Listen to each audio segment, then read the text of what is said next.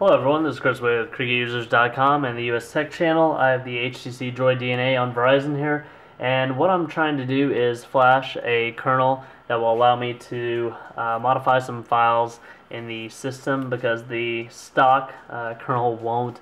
It'll pretty much uh, revert back uh, the build prop as soon as I reboot.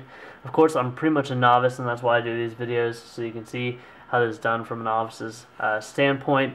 I've downloaded one of the kernels from DSB9938 at XDA. Uh, pretty much I'm using the stock one that allows you to uh, do some stuff in the uh, stock uh, area of the device's uh, storage, uh, the system folder I mean.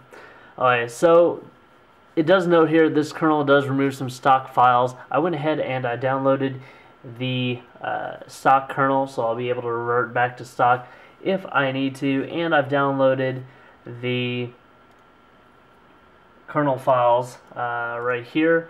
It comes with a boot image and this one which will be flashed uh, using the recovery. So I've placed this in a directory on the device that I can access from the recovery. I'm going to go ahead and take this boot uh, image right here. I'm going to go to my ADB folder. I'm going to go ahead and paste it in there. So it'll be easy to uh, flash that over. Uh, of course, this device is rooted already with SuperUser uh, installed, and uh, the bootloader is unlocked. Alright, I was being kind of silly there. I started, I completely missed a step. What do you want to do first is ADB reboot uh, bootloader. So you have to have those fastboot uh, drivers installed. Uh, your device should be recognized when you boot up into the fastboot uh, mode. Uh, I actually had to use a different computer, this Windows 8 computer, for some reason wouldn't recognize the device. I ran to my Windows 7 machine, got in there, and then I typed the fastboot flash boot boot.img. Uh, it sent it to it. I rebooted again. Uh, now I'm just going to do ADB reboot uh, recovery. This new ROM that you saw in there could also go directly uh, into it. Uh, volume down plus power should also allow you to get into a location where you can get into your recovery as well.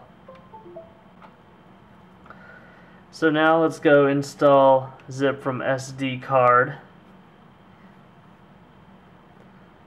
Place it in download. And here we have the cubed uh, stock system write modules.zip. So go ahead and select that. Volume up until I get to yes. Power button select. Okay, install from SD card complete. I'll go ahead and go back and reboot system now.